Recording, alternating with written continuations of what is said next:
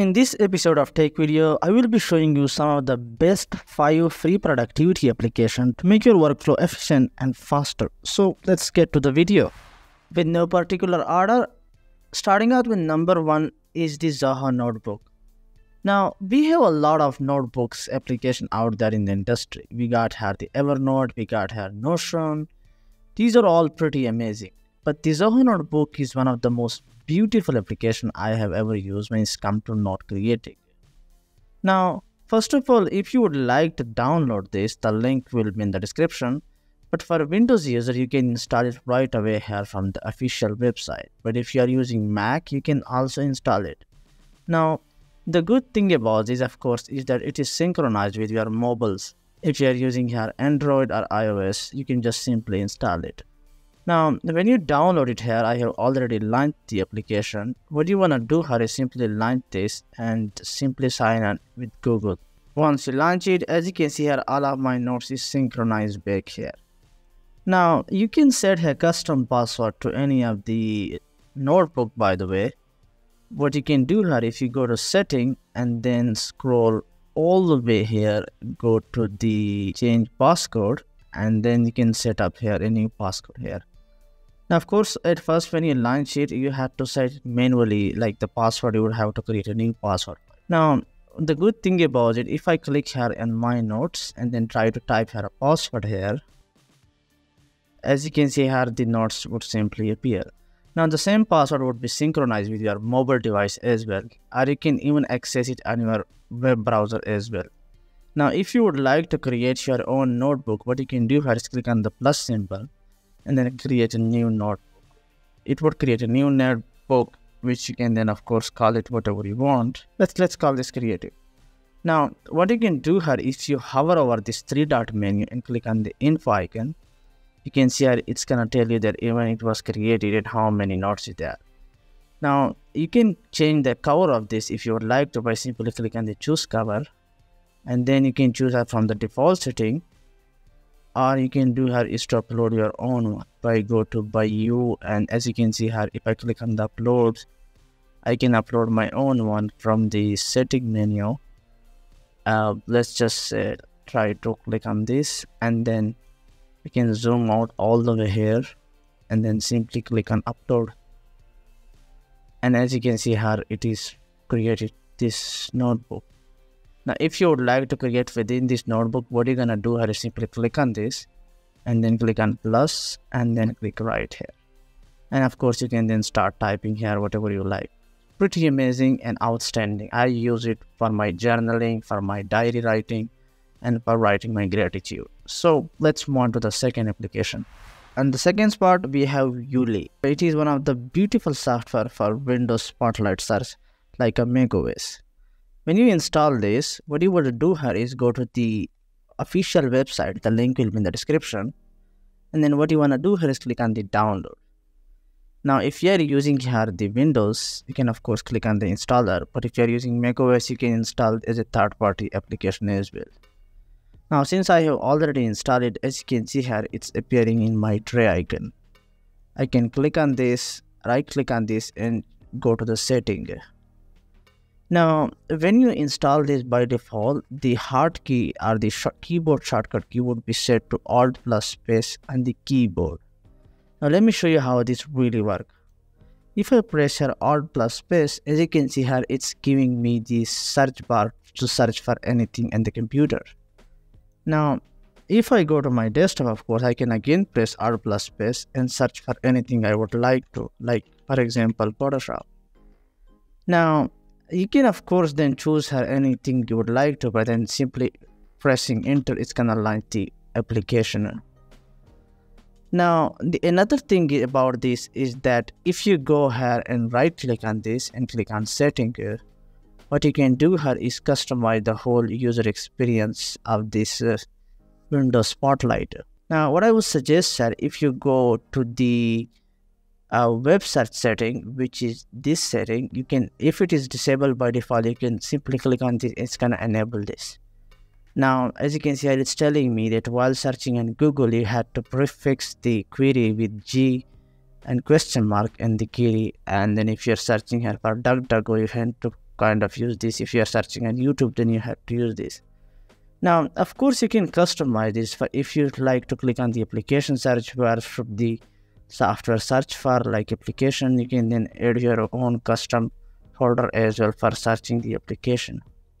The other thing about it is that you can of course apply her dictionary and things like that that coming directly straight from the dictionary. Now if i press her alt plus space and i want to search her anything on the google what i would do her is type her small g and then question mark space and i can type here the query on the web result. As you can see i can choose from any of those query.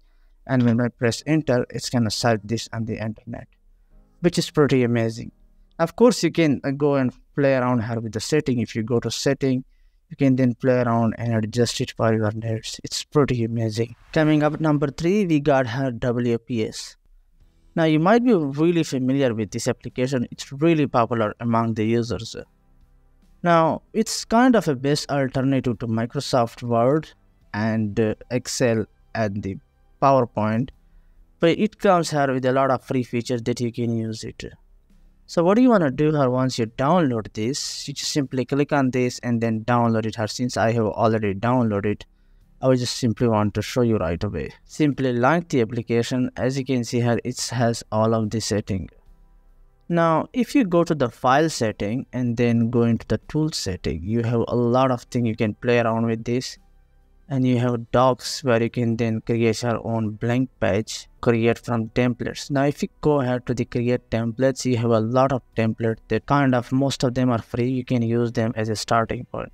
For example if you would like to create here this consulting resume what you want to do is simply click on the download it's gonna start the download in the background and then once it's downloaded you can then edit it for your own needs like it's pretty amazing and fantastic the other thing you can do here is that if you go and click on the plus tab, the best thing is that you can run simultaneous uh, different application within one windows. Like you got here the WPS slides, WPS sheets, which is kind of um, slides is alternative to PowerPoint and sheet is alternative to Excel. Really fantastic.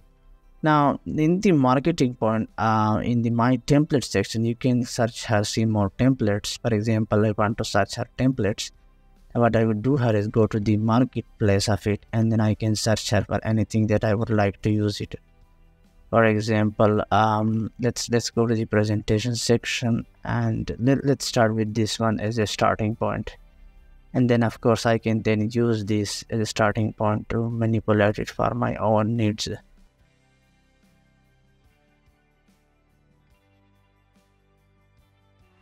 Coming up number four, we got her TickTick. Now, it's not the most popular application out there, but I have been using it for almost three, four years for my to-do list. It's really amazing for productivity.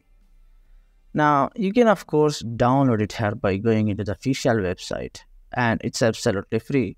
Most of the feature for average user would be free. It is also synchronized with mobile as well. So let me show you how to use this. Since I have already downloaded, I will just simply open it. Now what you want to do here, click on sign in with Google simply.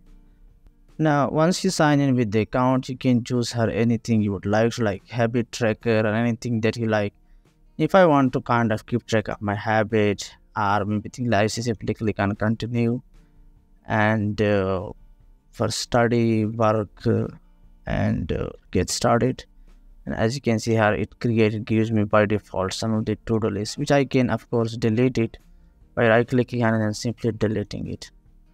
Now if you would like to create a task here by the way what you want to do here is simply click on this task and then and then you can just simply type here any task that you would like to. Now this is the parent task. When you create this you can click on this and create a within this subtask for your needs. Like of course um, you know just to keep track of everything. Now if you would like to kind of schedule this what you want to do here is simply right click here and then click on hover over this as you can see here tomorrow next week and monthly you can of course then just use her for your own needs like it's really fantastic now if you go to the habit tracker section you can add your own habits by the way totally depend on you and then just simply use this Now, if you would like to synchronize all of your habit to-do list and habit tracking with your phone, just simply log in with the same account that you used during the sign up process. Coming up on the last part, we have the Sumatra PDF. Now, I might have probably mentioned it on this YouTube channel. but It's one of the beautiful PDF reader out there and it's really fast and lightweight. Now, it doesn't only support PDF by the way, it supports her ebook file and different kind of extension. It's really straightforward and really fast. Now, if you would like to download it, you would go into the download section and then download it for your needs. Now, since I have already downloaded, I would just simply launch it. As you can see here, it uh, showing me the recent PDF file that I opened. So what you want to do here is simply click on open document and then you can choose here any of the document that you would like to open. You can then go back to the home page. As you can see here, I have opened this book. You can simply open up another book and it's just simply opening this PDF file in tabs really smoothly and beautifully you can add her annotation and things like that. It's really fast and uh, it is absolutely. Free anyway so i guess that will be it for, for this week video. If you like this video be sure to give it a thumbs up. And if you like my overall content i make every single week videos related to design technology and things like that. I would appreciate if you hit that subscribe button with bell notification. Anyway that will be it for this video. Thank you so much for watching. Peace out